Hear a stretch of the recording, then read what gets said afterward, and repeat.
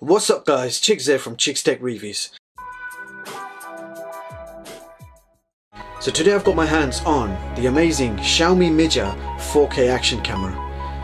So here we have another native 4K action camera with 6 axis electronic image stabilization, a 2.4 inch touchscreen and quite a large battery.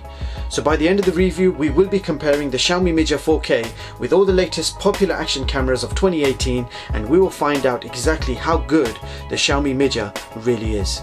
So let's just get it out of the box and see what it looks like.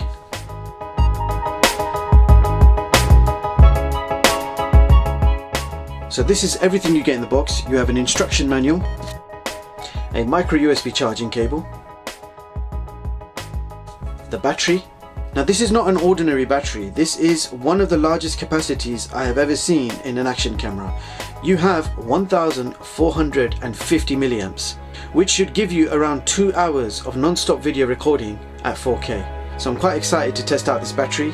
Last but not least, the action camera itself. So here it is guys, the Xiaomi Mijia 4K. You cannot expect anything but pure quality when it comes to a Xiaomi product. So this feels really nice in the hands, it's ultra premium. So on the front we have a 145 degree wide angle lens which can shoot up to 8 megapixel photos and a maximum of 4K videos at 30 frames per second. Now this camera also supports 6-axis electronic image stabilization which we will be testing in a bit. Now on the back we have a 2.4 inch IPS touchscreen. So usually these action cameras come with a 2 inch screen. This one has a slightly larger 2.4 inch and it's touchscreen. The camera also has built-in Wi-Fi and Bluetooth so you can connect this to your smartphone and use it as a wireless viewfinder. So let's go through all the ports. So on the top you have your power button, your speaker, on the side we have a latch which opens up to a micro USB charging port. And at the bottom of the camera we have a tripod screw which I always find very useful um, and I wish all action cameras come with a tripod screw as standard. Now you've also got a battery compartment here and I will install the battery. That simply goes in like that. Now at the top of the battery compartment you have a small slot there for your micro SD card and this supports a maximum of 64 gigs. That is pretty much it. You've got touchscreen and one button. So let's power on. These are the memory cards that are recommended for 4K. So what you really need to get is something with a U3 speed. It's nice that it tells you everything on screen. This is pretty cool. Alright, I haven't got much batteries, but I'll give you a quick overview. So when you swipe to the right, you've got all your options from photo or video. I want to check out the settings. So here, here are the settings. You've got 4K at 30 frames per second. You've got 2K at 30 frames and you've also got 1080p at 100 frames or 60 frames. And it goes all the way down to 720p at 200 frames per second, which is ridiculous. Quality is on fine, we'll leave it there, super fine adjust lens distortions. You got mic mute, stamp, auto record, metering. What I'm looking for is the stabilization option, which I haven't seen yet. Now the EIS option has appeared. Now I have already read that this only supports electronic image stabilization in two modes, which are 1080p at 60 frames and 1080p at 30 frames. Now to prove that, if I go back to resolution and go to 60 frames, EIS should still be on. Now if I go higher, say 2K. Actually, we'll check out 100 frames. EIS has disappeared. EIS, and finally, we'll check out 4K and yeah, there is no EIS. So, so the image stabilization is only supported in two modes, which is 1080p at 60 frames or 1080p at 30 frames. That is a shame because I really wanted to see 4K with electronic image stabilization. Nevertheless, we will test this camera out fully and find out how good it records with or without EIS. So I'm going to take this for a spin and we're going to find out how good this camera really is. I'll be right back.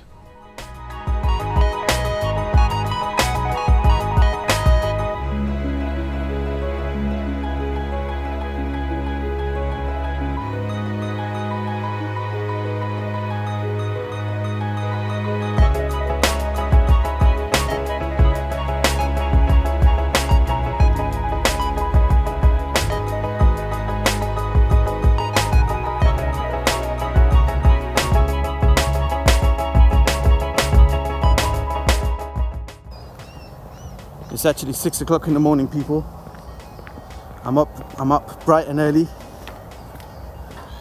to get some morning footage for you guys as I got to get back in the office and I got so much editing to do. So I like to start nice and early.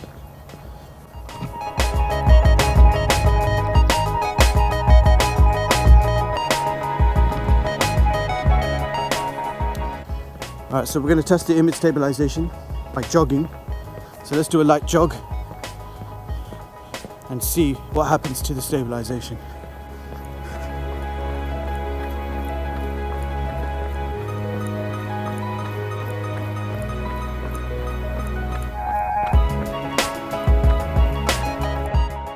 So I've come out six o'clock in the morning with the Xiaomi Mijia and we're doing a camera test to check out the quality of this camera. So we're shooting 1080p video at 60 frames per second. This is what the quality looks like. We've got electronic image stabilization is on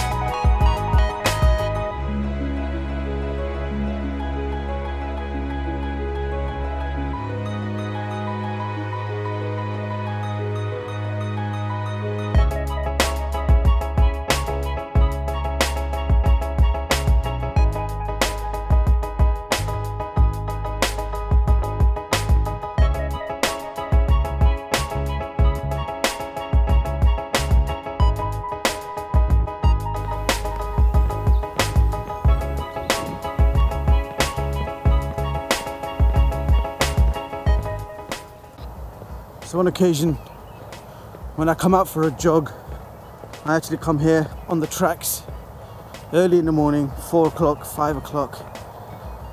And that used to be my old routine when I used to do boxing. And I guess that stays with you, you don't lose that.